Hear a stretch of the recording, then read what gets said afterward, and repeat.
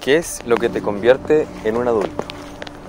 Recién me decías que era La madura gente. la madurez mental. ¿Quieres ahondar un poco más en eso? Sí. Yo creo que también en las emociones. Porque, Ser un adulto tiene que ver con las emociones. Claro, o sea, controlar bien sus emociones porque ya cuando tú, porque tú ya cuando grande, tú ya eres dueño de sí, de tu propia vida.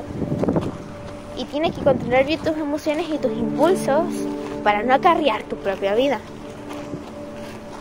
Y eso es muy importante. Claro.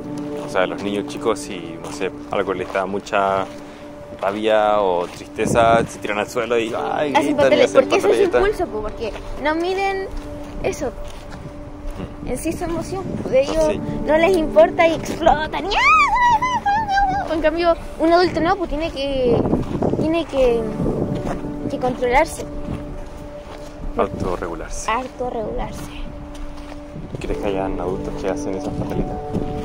En otros sentidos, pero sí. Dilo. Nombre. No, pues dilo.